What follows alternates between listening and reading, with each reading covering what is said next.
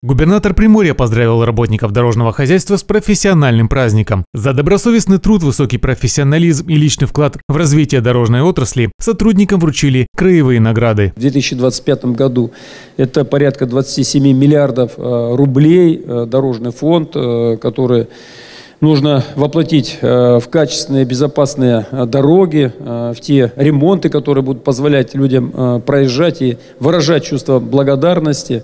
У нас э, стоит э, задача, помимо 235 э, километров дорог, привести в нормативное состояние 30 километров муниципальных дорог, построить, отремонтировать 17 мостов. То есть впереди большие задачи, которые мы, безусловно, должны выполнить. После торжественной части глава региона осмотрел на предприятии два цеха. Производство водопропускных труб большого диаметра позволяет дорожникам своевременно реагировать на последствия ударов стихии и оперативно восстанавливать проезжую часть а в цеху по изготовлению перенапряженных изделий создают железобетонные конструкции для строительства мостов. Артем Белов, Елизавета Драгомирова. Новости на восьмом.